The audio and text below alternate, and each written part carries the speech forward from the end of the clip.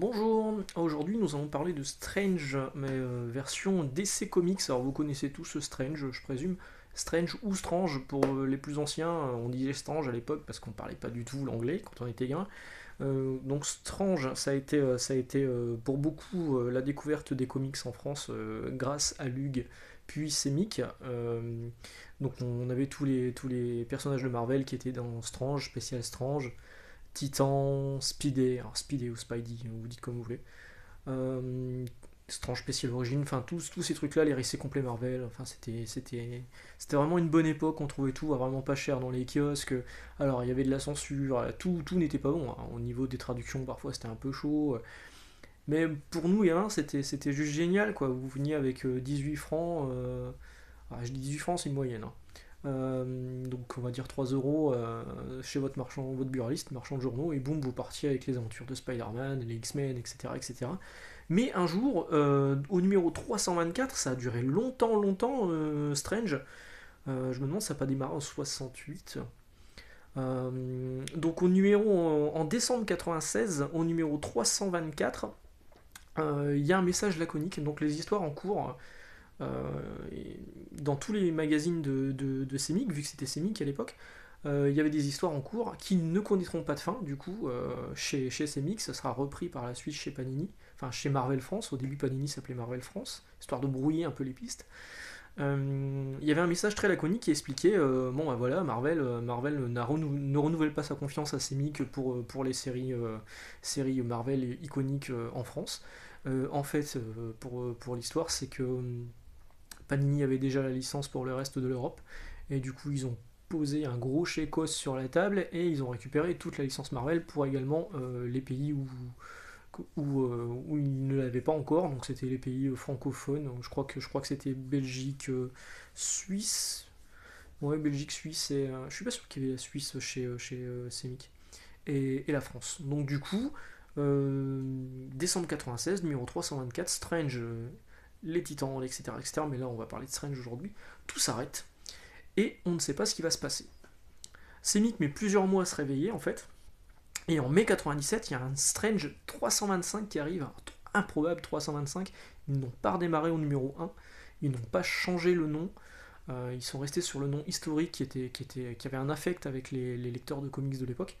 Et ils sont passés euh, au numéro 325, 325 mais les numéros, ce numéro-là, vous n'avez pas la suite des épisodes qu'il y avait dans le 324 parce que du coup on passe de Marvel à DC Comics avec une relance donc euh, avec Batman.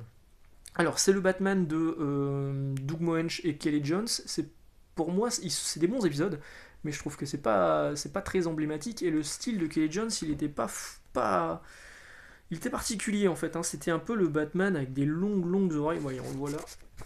Vous l'avez ici qui faisait un peu plus vampire que super héros. Euh, c'était sombre, là c'était une histoire sur l'épouvantail, ça démarrait là-dessus. Euh, donc c'était peut-être pas le meilleur Batman, la meilleure histoire de Batman à choisir, mais c'était celle, c'était celle du moment, donc euh, ok pourquoi pas. À l'intérieur vous aviez donc ce qui fait la couverture, le premier numéro de la relance de GLA de Justice League par, par Grant Morrison, qui est, qui est bien connu encore aujourd'hui, et Howard Porter, donc les dessins étaient pas moches. Euh, le scénario, moi je suis pas méga fan de Morrison, mais sur les Justice League, euh, il faisait du bon taf. Alors il y, a des bonnes planches comme ça qui sont cool. Euh, c'était plutôt bien. sur la même période, il y avait DC vs Marvel, hop, que vous voyez là derrière.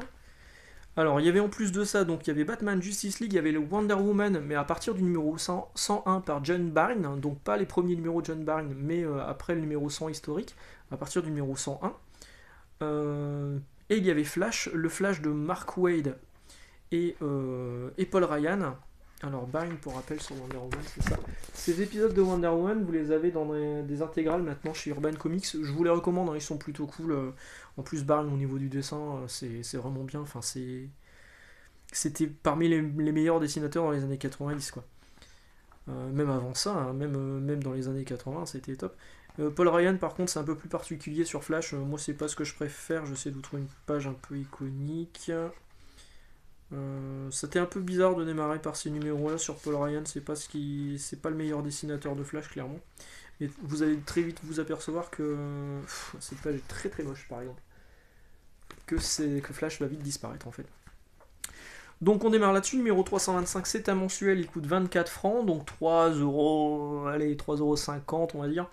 Euh, moi j'étais plutôt content. Euh, historiquement, c'était mon frère qui achetait les Strange euh, chez Marvel, et ceux-là, il n'a pas voulu les faire, alors je les ai fait, moi j'étais content. Voilà, donc le premier numéro, le deuxième numéro, toujours Batman, GLA, Wonder Woman, Flash, que vous avez ici. Voilà. Le troisième numéro 327.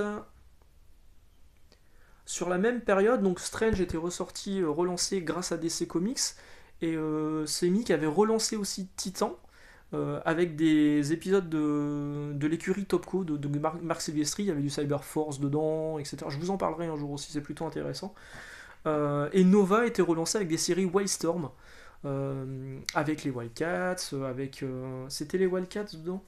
À vérifier, je, pareil, je les ai ici, là, quelque part, je crois qu'il y avait du Backlash, un genre de choses. Whiplash, Backlash. Backlash, je crois que c'est Backlash. Euh, hop, on continue sur Strange, donc toujours cela. Euh, qu'est-ce qu'il y avait à partir du numéro combien? 332, on n'y est toujours pas. Donc là, c'est le 328. Hop, 328, le 329, septembre 97. Avec le Superman bleu. En fait, il y a un moment, Superman avait perdu ses pouvoirs, il s'était séparé en Superman bleu et Superman rouge. Euh, ses pouvoirs étaient complètement différents. C'est-à-dire qu'il y avait des pouvoirs basés sur l'électricité. Alors, il y a eu un Superman rouge, je sais plus trop pourquoi, je crois qu'il y avait un méchant et un gentil. Faudrait que je les relise, hein. ça date de il y a longtemps. Pareil, ça c'est pas Superman, c'est Style. Euh, hop. 330. 331. Vous voyez, il fait vraiment, euh, il fait vraiment euh, Dracula, quoi, le, Batman que vous avez là. Et à partir de 332, c'est écrit sur la couverture, il y a du nouveau dans Strange. Alors en fait, euh, Panini annonce. Euh, Panini. C'est Mick, le réflexe. C'est Mick annonce que euh, ben, Wonder Woman c'est terminé et Flash c'est terminé. Alors c'est complètement con parce que là-dedans ça se termine sur des, des cliffhangers, c'est-à-dire que c'est la fin d'une c'est pas la fin d'une histoire, c'est la fin de l'épisode et on sait qu'il va se passer un truc derrière. Ça sera jamais paru dans Strange parce que là-dedans, dans l'édito, il vous raconte ce qui, ce qui va se passer dans les épisodes qui ne seront pas publiés. Merci, c'est la des choses, mais euh, ça aurait été sympa de continuer les séries, surtout qu'elles étaient vraiment pas mal. Hein. Euh, le Wonder Woman de Barnes c'était cool, le Flash était sympa. Flash est remplacé par Impulse, qui est un pendant euh, plus jeune, c'est son. Je crois que c'est son neveu venu du futur. les dessins sont d'Umberto Ramos, donc c'est plutôt sympathique. Le scénario est de Mark Wade. Umberto Ramos, moi j'aime bien. Umberto Ramos, on le connaît parce qu'il a beaucoup, il a beaucoup dessiné de Spider-Man. Il a travaillé sur DV8. Euh, euh, on voit pas un, dessin cool de Humberto Ramos là, non Parce que c'était vraiment ses débuts. Hein. Voilà, et par contre, euh, donc Flash est remplacé par Impulse, que vous avez là, et Wonder Woman est arrêté pour être remplacé par les Sovereign Seven. Alors Sovereign Seven, c'était un peu le, le mercato chez DC et Marvel. Chris Claremont, qui était l'auteur historique des X-Men, était parti de chez Marvel, il a été un petit peu poussé vers la sortie.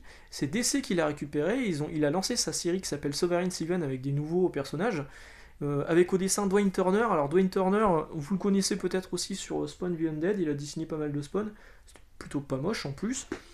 Euh, mais ce qui est complètement con, c'est que c'est qui a démarré au numéro 15, pas au numéro 1, alors sans doute pour coller à, l'historique, euh, ça fait vraiment, euh, ça fait vraiment comics euh, image un peu. Hop. Oui, ça sent ça, on dirait du, image comics. On dirait un personnage de Cyberforce. Donc c'est complètement con parce qu'ils ont pas arrêté les, ils ont arrêté les deux séries Wonder Woman et Flash sans, sans, sans, que soient publiées les suites de, du run. Et puis ça a été remplacé par Sovereign Seven qui démarre au numéro 15, donc c'est débile, et par Impulse, bon Impulse ça démarre au numéro 1, alors admettons que ça passe. Donc à partir de ce numéro-là, vous avez donc Impulse, Batman, Sovereign Seven et GLA. Hop. Dans ce numéro-là, moi c'est le dernier que j'ai ici, en fait le, 334. Le 335, je l'ai, mais j'ai dû le laisser chez mes parents malheureusement. donc je vais peut-être le récupérer lundi hein, après le déconfinement, si je passe les voir, si j'ai le temps de passer les voir. Euh, donc dans ces numéros-là, il vous explique que euh, Batman, euh, c'est dans le 334, non c'est dans le 332 en fait. Non, j'ai une connerie, c'est dans le 334. Dans le 334, vous voyez que Batman il fait partie d'un crossover Batman Legacy. Et Sovereign Seven fait partie du crossover Final Night qui était un gros crossover chez DC à ce moment-là. Donc du coup, ils vous mettent des, articles pour vous expliquer ce qui se passe dans ces crossovers. Et puis ils vous claquent les épisodes comme ça, perdus au milieu de rien. C'est mon con. Alors Semic, vous voyez, moi j'ai vraiment un affect avec Semic, mais là sur le coup, franchement, ils ont merdé quoi. Donc celui-ci c'est l'avant-dernier numéro, le 334. Le 335 ce sera le dernier. Euh, donc euh, Semic annonce que en fait ça marche pas malheureusement. Alors le changement pareil d'équipe de le remplacement de Flash par Impulse et de Wonder Woman par Sovereign Seven, euh, ils expliquent dans l'édito que c'est une demande des lecteurs. De où c'est une demande des lecteurs quoi. Bref. Euh, donc ça sera terminé pour Strange version DC, ce sera terminé pour Strange tout court. Le nom sera repris par des, petits labels euh, qui seront plus du tout Semic. Il y aura d'autres numéros de Strange à sortir, mais euh, ce sera plus du tout. Et pour moi, historiquement, je crois que c'est avec des, des super-héros français en plus, non? Donc pour moi, ça fait pas vraiment partie des Strange. Mais c'est pas terminé pour, pour Semic et DC, DC Comics parce que Semic va tenter d'autres choses. Avec du Superman hors série, avec du du euh, spécial DC. Il lance les Black Canary. Donc ça c'est un numéro par euh, Chuck Dixon et Gary Frank. Gary Frank c'est super beau, encore une fois moi j'adore Gary Frank. Voilà, ils sortiront après une version intégrale, donc là j'ai le numéro 1 et 4. Bon, de toute façon y a pas de, ça, ça, suit pas, c'est pas une série régulière, a priori c'est des mini-séries à chaque fois dedans. Euh, en mettant Gary Frank en couverture alors qu'il est pas du tout à l'intérieur. Vous voyez c'est quand même cool hein, Gary Frank. Moi j'aime bien. Et euh, voilà, juste ça ira à peu près jusqu'à la fin de Semic, euh, où Semic là ne publiera plus que du, euh, que du Marvel, que du Marvel, que du, que du DC Comics et du Image, surtout du Image Comics. Vous voyez par exemple là il y a une pub pour Divine Right, les aventures de Max Faraday. Mes aventures, c'est de là que tu mon pseudo, hein, toute façon. Et jusqu'à la fin de, de l'aventure Semic en kiosque où ils termineront maintenant, euh, comme j'expliquais dans une autre vidéo, ils continuent à exister, mais à faire des beaux livres sur les comics sans que ce soit des histoires euh, traduites de là-bas, et à faire des, produits dérivés avec des mugs, avec des avec des euh, des peluches Ghibli, ce genre de choses. Alors ils avaient tenté l'aventure en librairie, hein. ça s'appelait les Semic Books. Là on voit que par exemple il y avait Kingdom Come du DC et Arcadom du Topco Image. mais pareil, au bout d'un moment, ça s'arrêtera, malheureusement. Voilà, j'espère que ça vous a intéressé. J'espère que j'ai pas dit trop de conneries parce que j'en dis régulièrement. Et je vous remercie parce que vous me corrigez souvent dans les commentaires en étant très très gentil avec moi. Euh, le problème c'est que je fais tout à l'arrache. Je prépare un tout petit peu, mais pas assez pour, euh, euh, ne pas dire de conneries. Et puis comme je bafouille souvent, il peut m'arriver de laisser échapper des, bêtises, comme dire que Trevor Erskine est comme cofond d'Erskine et Travel Foreman. Comme dans la dernière vidéo. Heureusement, vous me corrigez et vous faites ça de façon très, euh, très courtoise. Voilà, euh, un grand merci. On se retrouve demain pour une prochaine vidéo. On verra bien de quoi on parle. Ciao